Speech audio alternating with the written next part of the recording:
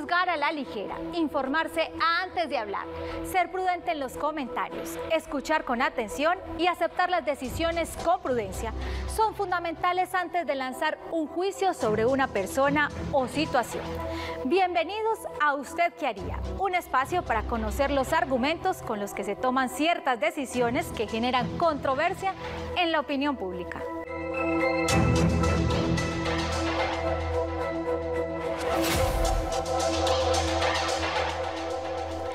Hace algunos días, mientras se cumplía con el aislamiento preventivo obligatorio, un conductor se saltó un semáforo en rojo en el centro de Medellín, que provocó una persecución policial que lo llevó en su huida hasta la loma de los Balsos en el poblado, donde incluso arrolló a dos uniformados. Recordemos esta nota.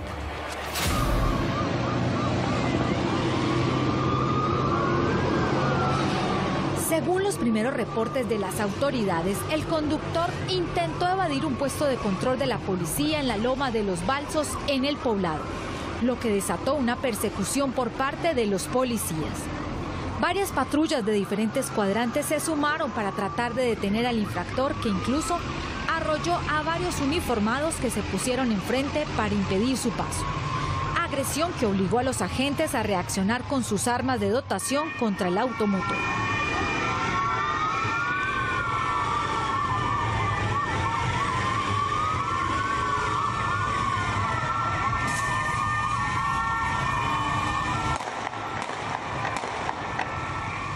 El hecho, ocurrido cerca de las 11 de la noche de este miércoles, terminó con la captura del sospechoso y lesiones leves para dos policías.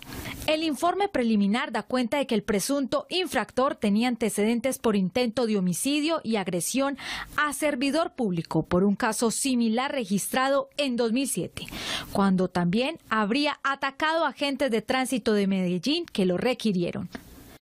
Según la policía, el conductor será presentado este jueves ante las autoridades competentes y podría ser procesado por ataque a servidor público, daño en bien ajeno y por violación de la medida sanitaria. La sensación que queda en el imaginario de los ciudadanos es cómo este tipo de hechos no obliga a que esta persona pague cárcel. Esta es la opinión de un televidente a quien le preguntamos si usted fuera el juez encargado de este caso, ¿qué haría? Como una persona que arrolla un policía y hace tanto escándalo en la calle, lo dejan libre, yo como juez le doy por ahí tres años de cárcel. Lo que acabamos de escuchar es la opinión de un ciudadano que no cuenta con la formación jurídica para entender qué leyes aplican en este tipo de casos. Es una apreciación que habla desde su sentir, desde lo que él piensa que debería proceder. Pero veamos qué piensa nuestro experto invitado. Lo que aquí debería ocurrir es que la autoridad municipal de tránsito, en nuestro caso la Secretaría de Movilidad, le suspendiera la licencia por un largo periodo o incluso se le quitara la licencia a este individuo porque está claramente demostrado que no es una persona que pueda participar del tráfico rodado, es decir, de la conducción de vehículos automotores. Ahora bien, si después de cancelada la licencia o suspendida y durante el término que dure esta sanción, este individuo sigue conduciendo vehículos automotores, podría incurrir en una serie de conductas delictivas. Depende de lo que realice. Podría incurrir en fraude a resolución judicial por estar desobedeciendo lo que una autoridad le ha exigido. Podría estar incurriendo en una falsedad en documento público si llega a falsificar el pase para poder conducir o cualquier otra conducta relacionada con el desobedecimiento de las órdenes legalmente impartidas. Sin embargo, el llamado tiene que ser a no solicitar siempre sanciones penales. Las sanciones penales son las más gravosas. Debemos reservarla para los delitos que, que signifiquen una mayor relevancia jurídica.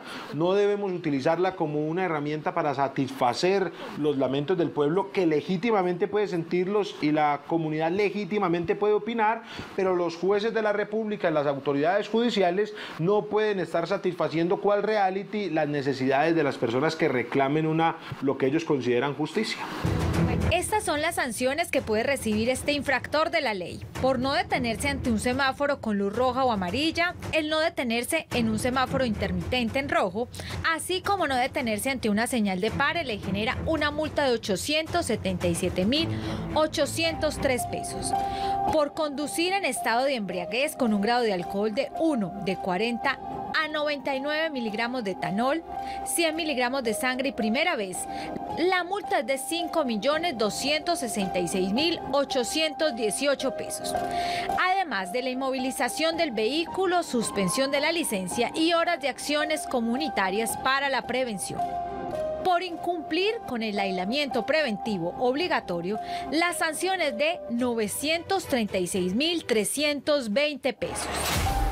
Por más que los ciudadanos consideren que este tipo de hechos deberían ser castigados con cárcel, en Colombia existen leyes para todo tipo de delitos o desacato social, como ocurrió con este infractor, quien según el abogado penalista Santiago Tres Palacios, el haber hecho caso omiso a la orden de pare deriva en una sanción monetaria que deberá pagar por exceso de velocidad, incumplimiento del aislamiento preventivo obligatorio pero que a su vez no son delitos que deban ser penalizados con la privación de la libertad. Llegamos al final de Usted qué haría, un espacio para entender la razón por las que se toman algunas decisiones para no juzgar a la ligera, sino conocer los argumentos que fundamentan las formas de actuar de los profesionales. Hasta pronto.